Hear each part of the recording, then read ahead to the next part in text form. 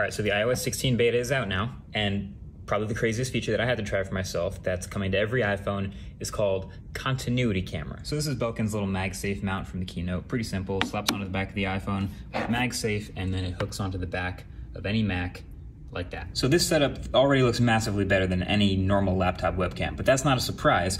The real stunner here is what's called desk view. So when you pull up desk view, the iPhone uses the edge of the frame of the ultra wide camera to give you a nearly top down view of what's on the desk in front of you.